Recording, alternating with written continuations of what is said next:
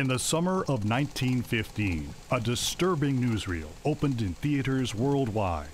It showed images of lifeless bodies recovered from a capsized passenger ship, hundreds of women and children who drowned in the Chicago River that ran through the city's downtown.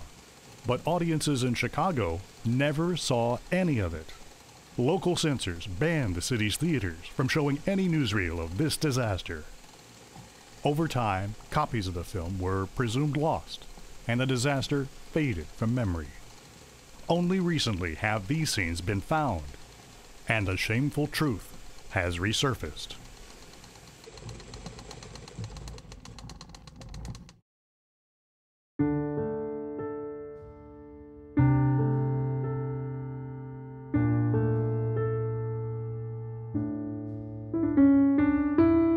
Here's this massive loss of life right here, downtown Chicago, in the middle of the city, and nobody I know knows about it.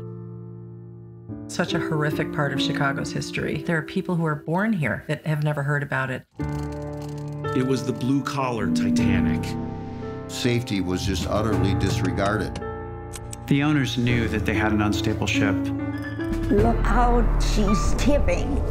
844 bodies? He dove into that water. People started calling him the human frog.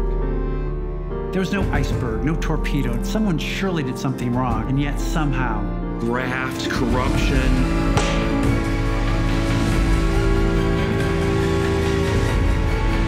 It's Chicago, you know. Somebody got paid.